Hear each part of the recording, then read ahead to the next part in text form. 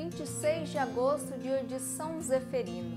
Rezemos, Deus eterno e todo-poderoso, quiseste que São Zeferino governasse todo o vosso povo, servindo-o pela palavra e pelo exemplo.